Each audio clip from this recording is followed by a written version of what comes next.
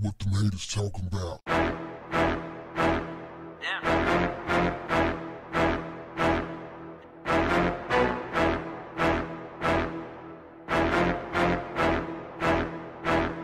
What's up, family? There's a video circulating on social media of several people shoplifting cosmetics from a store.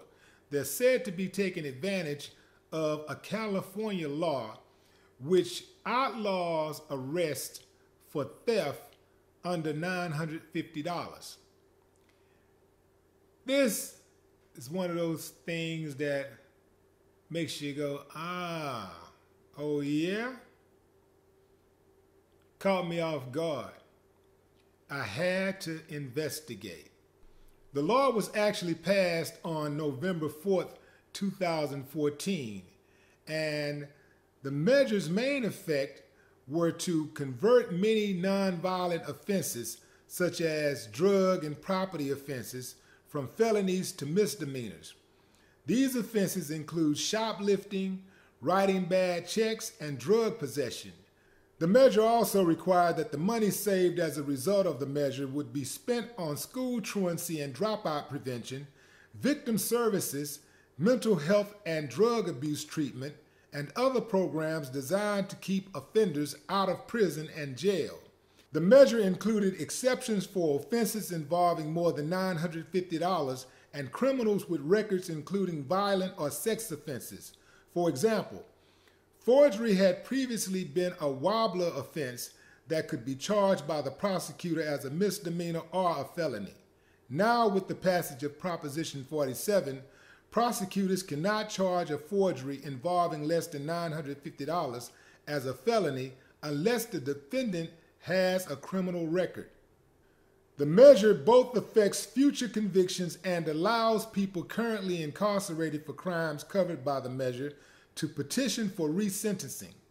In November 2015, a report found that Proposition 47 had reduced the state's prison population by 13,000 and would save the state $150 million that same year. That's a big difference. That's a lot of money. 13,000 less inmates in the state of California. That's a good thing, right? So let's talk.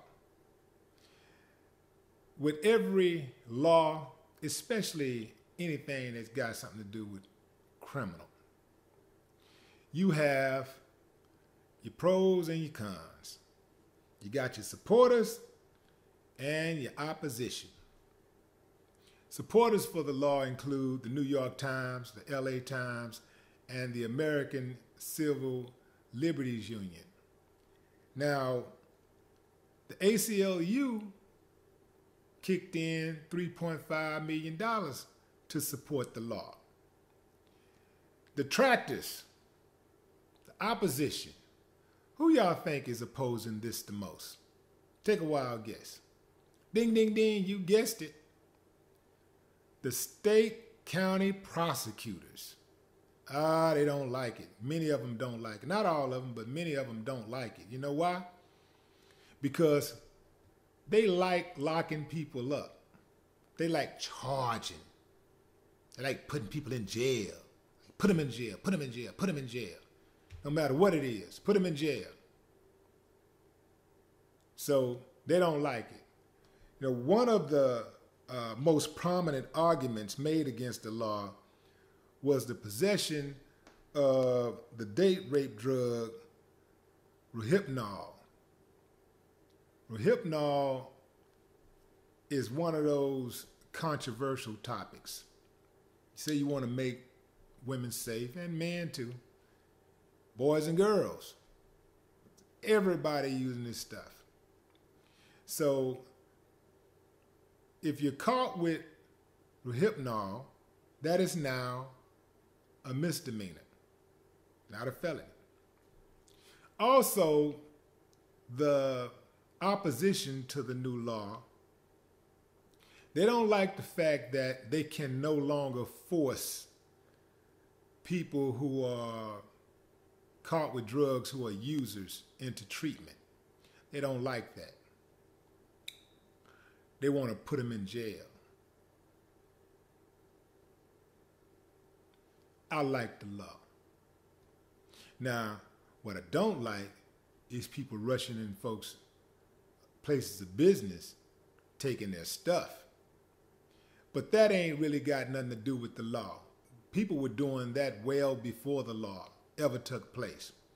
And people ain't trying, even though it's a misdemeanor, you can still go to jail. You can still be charged. You can still have your life disrupted. So uh, they're saying that it's still too soon to see how the law has really impacted uh, the crime rate. But we'll see. I would advise anybody that's living that life where you're rushing in people's places of business, taking their stuff, to not count on the law to protect you from getting shot dead. If you're going to play that game, understand. Play stupid games, win stupid prizes. No more talk. What, what the haters talking about?